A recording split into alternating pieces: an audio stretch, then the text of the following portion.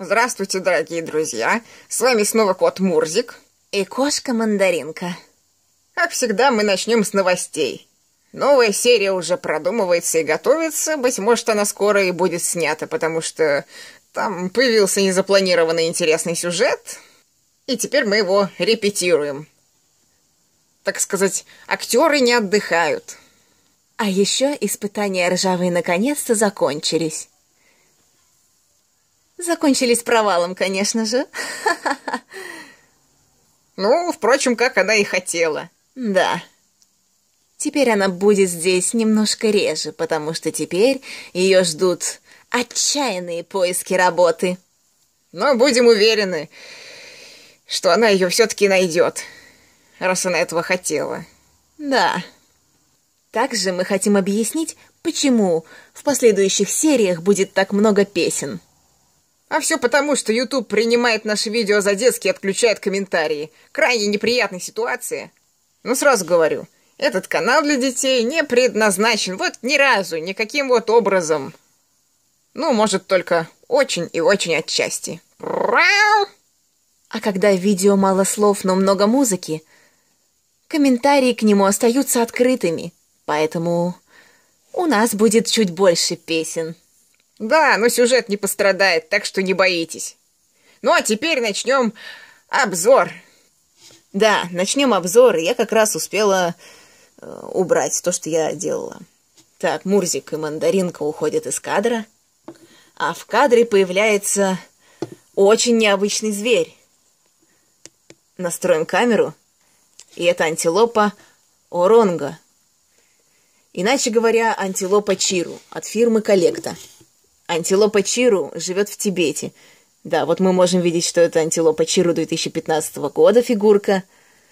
И такие антилопы живут в Тибете. В Тибете где-то, в общем... В общем, короче говоря, есть такая антилопа. И она относится к разряду таких антилоп, как сайгаки и некоторые прочие переходные от антилопы козе ближе. Ну, в общем, что-то между антилопой и козой, сайгаки и антилопой чиру. В общем, это редкое краснокнижное животное. А прошу заметить, что фирма Коллекта часто специализируется на таких краснокнижных животных. В силу того, что... Ну, в силу того, что это как бы привлекает внимание к их защите. Именно за это я и люблю фирму Коллекта – Раньше это было моей самой любимой фирмой. Даже не знаю, как сейчас. Наверное, я просто давно не покупала их фигурки, но от них всегда веет чем-то таким приятным. Ностальгически приятным, быть может, даже. Потому что... Потому что все началось, наверное, с коллекты. Итак, мы можем обратить внимание на фигурку.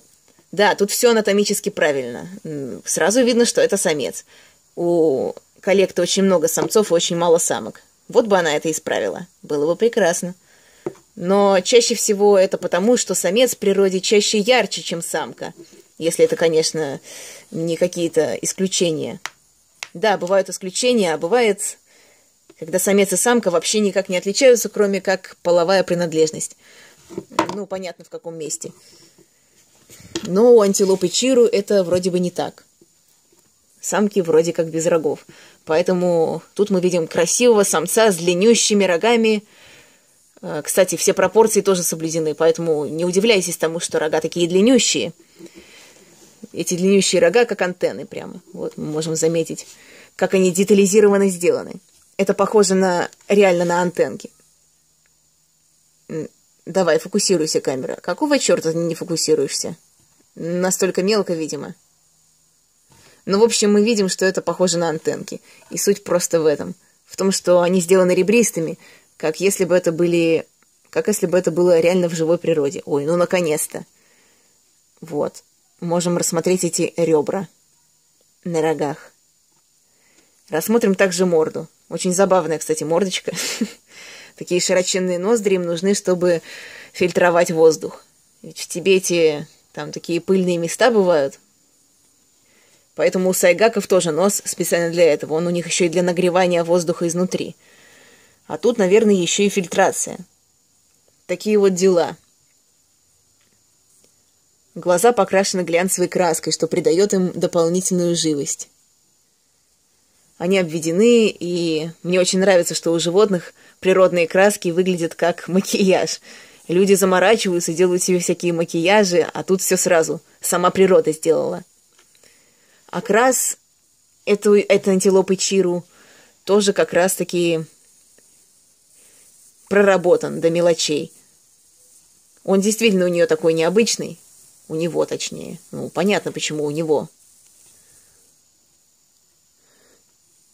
И покрашен он тоже очень хорошо. Немножко градиента, где надо четко, где надо градиент. Стрелки на копытах делать не стали, но зато сами копыта достаточно, достаточно реально сделаны. Я заметила, что коллекта особо не заморачивается с копытами козлов. То есть вот тут вот должны быть такие стрелки тоже, а их тут нет. Поэтому, поэтому если вам нужна прямо четкость, это уже обращайтесь к шляйх. Вот они любят четкость. Ну, наверное, любят. Чем новее, тем хуже. А тут... А тут все проработано до мелочей. Даже фактура шерсти. Да, даже фактура шерсти. На ощупь она ребристая. И лучше беречь такие поверхности животных вот с такой шерстью от песка, например, или от попадания какой-то грязи в сумки. Вот именно поэтому я говорила, что их нужно заворачивать, чтобы в сумке никак не повредились, потому что иначе говоря, тут могут застрять всякие песчинки, и выковырить их из такой вот э из такой вот шерсти будет крайне проблематично.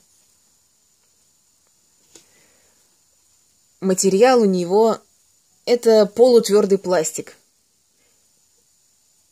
Но за счет того, что ноги очень тонкие, они легко гнутся, поэтому я предпочитаю очень аккуратно носить такие фигурки куда-либо. И этот антилоп еще ни разу нигде не бывал. Ну вот не довелось ему нигде и побывать. Но я думаю, что у него еще все впереди. Кстати, рога тоже очень гибкие. И если вы заказываете фигурку, например, с Вайлдберрис, то вам может прийти антилопа с погнутыми рогами. В таком случае ее нужно выпрямить, их нужно выпрямить при помощи кипятка, и все будет, наверное, хорошо. Такие вот дела. Вот такая вот у нас антилопа Чиру. В последнее время обзоров будет немного меньше, в силу того, что, во-первых, у меня постепенно заканчиваются фигурки на обзор, поэтому, скорее всего, серии будет чуть больше, пока не будет новых фигурок.